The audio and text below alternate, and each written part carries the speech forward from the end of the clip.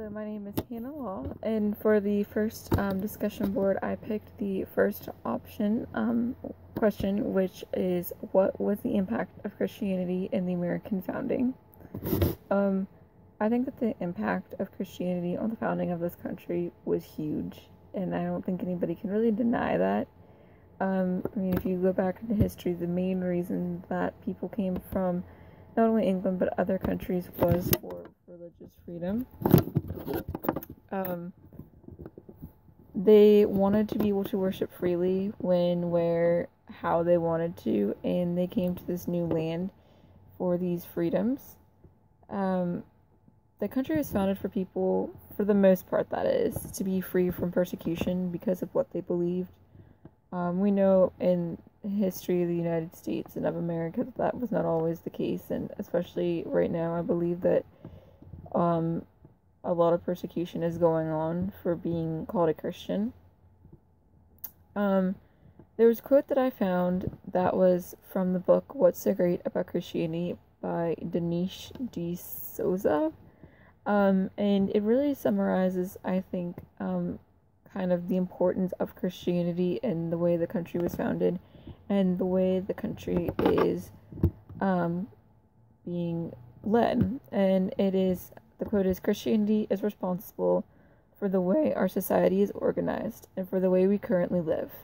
So extensive is the Christian contribution to our laws, our economics, our politics, our arts, our calendar, our holidays, and our moral and cultural priorities that historian J.M. Roberts writes in The Triumph of the West that we could none of us today be what we are if a handful of Jews nearly 2,000 years ago had not believed that they had known a great teacher, seen him crucified, dead, and buried, and then rise again. Um, this quote, I think, talks about that the Christian contribution to our laws, economics, politics, arts, calendar, our holidays, um, moral and cultural priorities it's huge. I mean, even back then when the country was first founded, even non Christians had respect for the morals and for Jesus itself, which you don't really see, I think, um, that much today either. Um, but like it states that Christianity is so important in parts of society, such as laws, the family, um, your education, and so much more.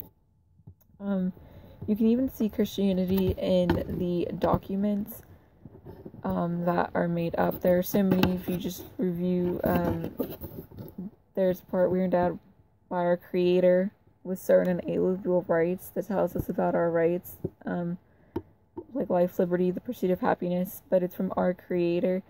Um, there's a lot of stuff, and I know that not all the founding fathers are probably Christians, and um, maybe they didn't intend for this country to be a completely Christian nation. Um, I believe that Christianity, though, did play a huge part in it, and that it's something that um, is one of the main reasons why our country is what it is today. So, yes, I going back to the original um, posting of it, or the original question what is the impact of Christianity in the American founding? I believe that the impact is huge. It is major, and it is probably one of the one of the main reasons that our country is what it is today.